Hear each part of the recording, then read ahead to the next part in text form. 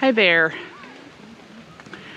Um, for those of you who have been watching my videos for a little while, you know who I am.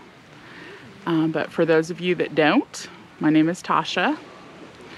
And just wanted to share a little bit about me and about what this channel is about and what I plan on using it for. Um, again, my name is Tasha Orr. I'm 47 years old and I live in Bloomington, Indiana with my wonderful husband. And I have spent my life serving God and serving others, and specifically serving women and children who have experienced trauma. I spent 10 years in the court system, the very useless and apathetic court system, trying to make a difference there. And um, and then after that, I, for several years, um, I was running support groups. And about five years ago, I experienced my own severe trauma which I had experienced trauma in the past, but uh, lots of vicarious trauma also. But this particular trauma left my body um, broken.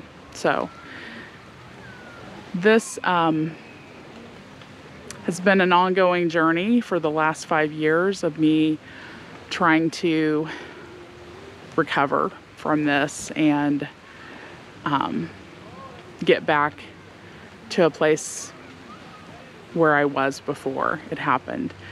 I um, I experienced something five years ago, uh, an infection called necrotizing fasciitis, which left me with a very large hernia.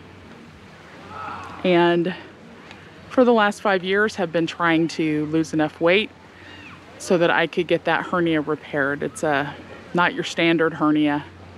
It's actually pretty serious. And um, weight loss has been a struggle. Uh, it's always been a struggle for me, and especially now with this and not being able to exercise, um, it has continued to be so. And then